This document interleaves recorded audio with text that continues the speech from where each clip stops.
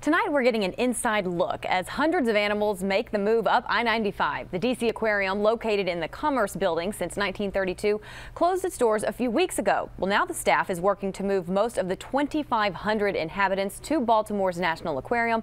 ABC 7 veterinarian Dr. Katie Nelson went behind the scenes of the big move. The South American electric eel packs a punch of almost 700 volts of electricity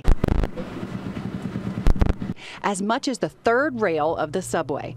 So as the DC Aquarium's caregivers take this slippery guy out of his tank, they have to take extra special precautions. Our, our guys had on rubber gloves and uh, you know we basically we instead of using a, a net with uh, with mesh on it we used a, a, plastic bag got them into the plastic bag um, and uh, worked them that way so that we don't really have to handle the animal too much and get in the water. Certainly with the precautions that we took, I don't think anybody was really in any, any danger whatsoever. They're also moving this alligator gar, a large freshwater fish.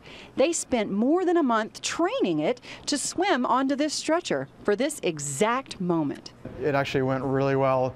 He guided right over into the net and we lifted it up and right in there and over the side and into the, the transport tub. These star attractions, as well as hundreds of fish, are then loaded onto this truck to head to Baltimore. People see water coming out of a box truck and they might question what's going on there.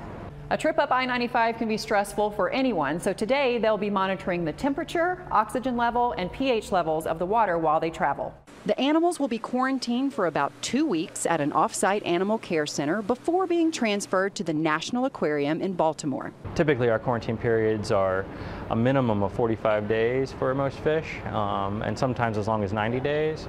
But most of these fish have already been through quarantine at the Animal Care Center. By March, all the remaining animals will be moved to their new homes all over the country. Dr. Katie Nelson, ABC 7 News. Wow, that's a lot of electricity yeah, in that eel. yeah, that's a good way to clear. Well, that's a good way to clear traffic. Tell everybody you've got an electric eel on board. no kidding, precious cargo. All right, up.